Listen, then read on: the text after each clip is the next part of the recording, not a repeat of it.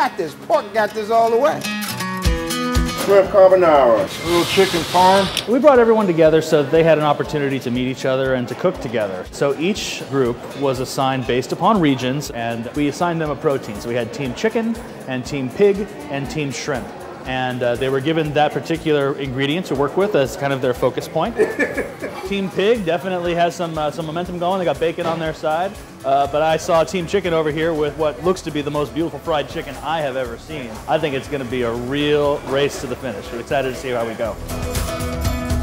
It's a great exercise for our chefs. It's a good team building exercise, and it gives them uh, a chance to kind of get out of their communities and work with some other people and maybe work with some ingredients they're not used to working with on a regular basis. That's the kind of thing that I think we really value here is making sure that our folks, while they have uh, you know, really important jobs back at their communities, they also get the opportunity to come and see other things and expand their horizons. That is a pimento cheese sandwich, my friend. Very, very nice.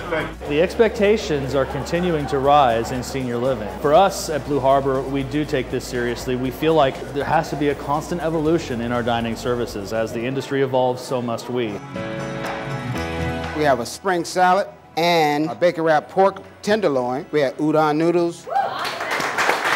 These guys will be energized by this particular exercise and take that kind of energy and bring it back to their communities. And to have some kind of a competition to allow their cooks and their teams to be creative and to work under a kind of a different circumstance than maybe they would normally be used to. Just to bring a little bit of additional energy and excitement into our day.